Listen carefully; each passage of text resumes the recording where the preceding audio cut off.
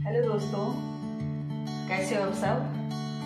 माता रानी की कृपा से आप भी अच्छे होंगे, मैं भी अच्छी हूँ। तो शाम क्या? रात का ही समय हो गया है। तो अब हम लोग शाम रात की तैयारी कर रहे हैं खाने की। तो दोस्तों, आज तो हमारा सबसे पहले मैं आपको बता दूँ, क्योंकि रात का टाइम है तो रात के टाइम में ऐसे ही बताऊँगी कि यहाँ का मौसम कैसा था। यहाँ का मौसम।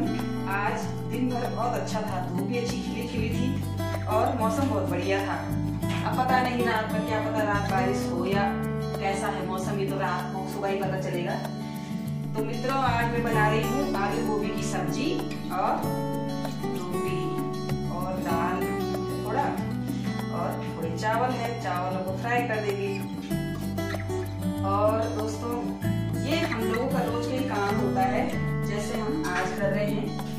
ये काम हम लोगों का रोज का ही होता है। रोज का ही सुबह से शाम तक ये दिनचर्या चलती रहती है दोस्तों। तो आप देखिए, मैंने यहाँ पे सब मटेरियल तैयार कर लिया है और अब बनाने की तैयारी है। बच्चे भी पढ़ाई कर रहे हैं तो मैं अपने काम में लग चुकी हूँ। और आप लोग सभी लगे होंगे अपने घर में तैयारी करने पे। तो दोस्तों, मैं तो रात रात की व्यवस्था के साथ साथ सुबह की तैयारी भी कर देती हूँ, क्योंकि बच्चों को सुबह जाना सबकी टाइमिंग अलग अलग होती है, इसलिए सबके लिए मैं रात की तैयारी कर देती हूँ थोड़ा बहुत, बाकी सुबह करती हूँ। दोस्तों, एक बात बोलूँ मैं आप लोगों से कि हम लोग जो ये काम करते हैं ना, इसमें हमें आनंद भी आता है और पसीना भी निकलता है।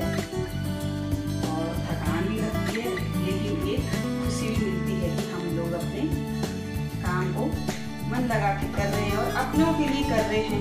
तो अपनों से बढ़ के तो सब मित्रों कुछ नहीं होता।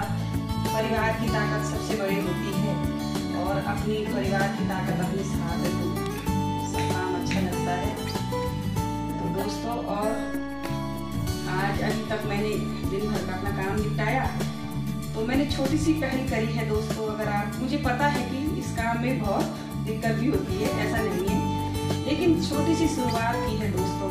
इसमें मेरा कुछ ऐसा नहीं है कि आप लोगों से हमेशा तो अपने घर के अंदर ही रहते हैं। सोचा आप क्यों ना आप लोगों से मिल लें, आप लोगों से अपनी मन की बातें शेयर करें। आप भी तो हमारे अपने ही हो। दिल, रिश्ते दिलों से बनते हैं दोस्तों, और रिश्तों को बनाने के लिए अपना अंदर की हर खूबियों को निकालना बहुत ज़रूरी है। क्योंकि मुझे लगता है कि गलत काम नहीं करना चाहिए इंसान को। सही राह पे चलना चाहिए। गलत काम की होती है दिक्कत। अच्छे काम के लिए तो अच्छा काम करे तो अच्छा ही होता है। और अपने काम को हमेशा मन लगा के करना चाहिए। तो दोस्तों, मैंने सब मटेरियल तैयार कर दिया है और मैं अब सब्ज़ी बनाने की तैयारी कर रही हूँ। तो मिलती हूँ मैं आपको सब्ज़ी बनाने के।